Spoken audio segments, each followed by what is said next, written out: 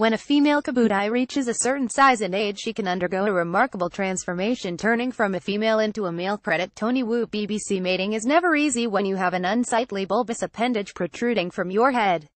But the male Asian sheep's head wrasse has even greater problems to contend with. The female wrasse is endowed with the extraordinary ability to unexpectedly switch gender, a change which not only scuppers any burgeoning relationship with the male but also creates another headache for him a new love rival. The gender-bending ability of the wrasse has been captured in detail for the first time for BBC Blue Planet 2 which airs on Sunday. The female kobudai left becomes even bigger than the male after transforming credit Tony Wu. Scientists believe the female wrasse makes the switch because she can pass on more genes as a male, although it is unclear why some change while others remain female. It is just one of dozens of filming and scientific firsts captured over four years by the production team who also recorded huge flying fish which snatch birds from the sky, boiling seas, and armor-clad octopuses. A giant trevally leaps from the water to catch a tern in flight credit BBC Sir David Attenborough, who narrates the new series, said he was most impressed with new footage showing the efforts of the male anemone fish. There have been a lot of really important scientific discoveries, he told The Telegraph. There's a little anemone fish off the reef living in the sand that is surrounded by dangers but it finds refuge in the tentacles of an anemone, because it alone is immune to their poison. But the female has to lay eggs, and she can't do that on the soft tentacles of an anemone. So the little male goes around trying to find something where she could lay safely. He finds an empty coconut shell, but the trouble is it's miles away from the safety of the anemone. So he decides he's going pull the thing all the way back. So he struggles with it, and the triumph on his little face when he does.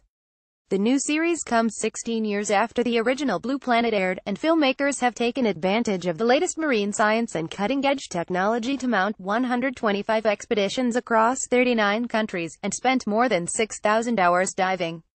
The crews managed to film animal behavior that until now has been rejected as just sailors' myths. Two Minutes with legendary nature presenter Sir David Attenborough 0212 Mark Brownlow, series producer, said what's exciting is we are working with scientists and we are helping them further their science. Often the logistics is too massive for them to independently launch their own expedition, but by collaborating, we work together. A really good example is the common octopus near Cape Town and when this octopus feels threatened it picks up stones and shells on the seabed and wraps them around itself and it seems to be a protective coat. Not only does it camouflage but it actually seems to be using the shells as a shield and we filmed that for the first time. Blue Planet 2 the prequel 0506 the team said the programs were the most authentic ever, after the BBC Natural History Unit has faced criticism in the past for filming footage in zoos rather than in the natural world.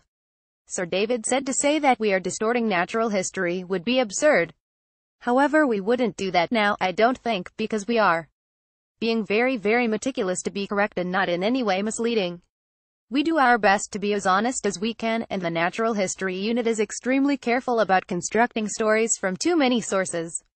False killer whales traveling with a pod of oceanic bottlenose dolphins off the coast of the North Island, New Zealand. Credit Richard Robinson BBC James Honeybourne, executive producer, added it's very important to us that we are true to nature. We are very honest about all the techniques we use to create that, to tell a story.